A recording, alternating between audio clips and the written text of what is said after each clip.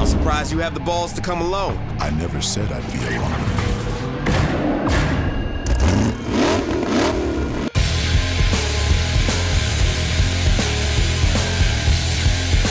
Basically, this is our our biggest uh, press event before we actually go live with the full game, and uh, we've gone through a lot of different things here. Uh, one is we've been revealing a lot about our more about our customization, uh, how it affects the gameplay in, in Saints Row 2. We've got uh, the biggest thing, I guess, is the style levels that uh, we've been we've implemented. In Saints Row 1, you had style, but this time you actually have style levels that you can use throughout the game uh, when you go to purchase customization items of like tattoos, whatever in the game, car modifications.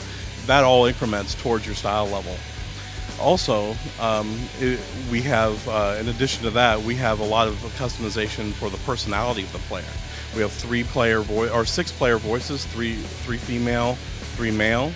Uh, they're all different accents and different lines for each one. So you can actually, when you play the game with a different voice, you actually, the, they're not the same lines uh, just said by a different actor. They're actually different, written differently. So it actually changes the experience of all the cinematics and just the in, the ambient lines that the player says during the game.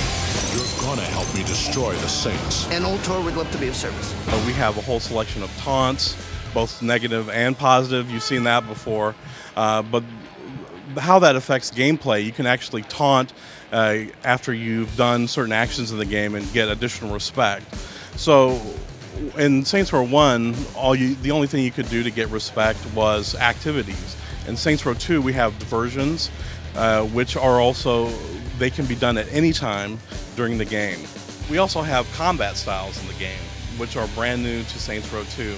Our enhanced melee system gives us the opportunity to give the player a whole new experience with melee. You start out the game with a baller style, which is just a basic kind of just fisticuffs.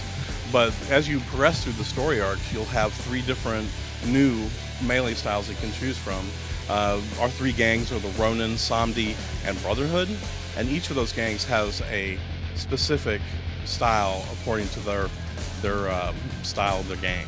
The player actually chooses which style they want to do. They earn it as an unlock. Uh, one of the things we've done in Saints Row 2 is is give the player a lot of rewards that they can unlock during all the activities, missions, and even diversions. You have unlockables that you can get. We have a lot of smart mathematicians that are uh, programmers mostly that want to know these statistical things, and I'd say that we're easily in the millions of combinations of characters. Uh, we haven't ever actually uh, gone down because we were always we right up to the last moment we were adding new features, new customization features, new clothing.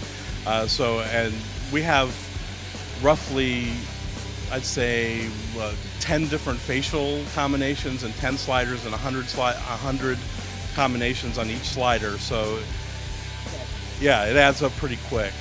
Co-op is obviously one of our biggest features that we're, we're showcasing, and it is a lot of fun. Uh, this, the way we've uh, integrated it is a seamless system that allows players to jump in, jump out anytime they want during a game, join any other person's game they want, and just either join in the fun with them at, and where they are in the story, or start all over with a with a brand new story.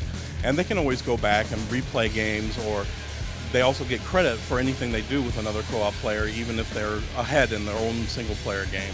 And one of the nice features I think is when you go back to your single-player game and you play through that story, you get to a mission that you've already done with a co-op player, you can choose to replay that mission or just skip it.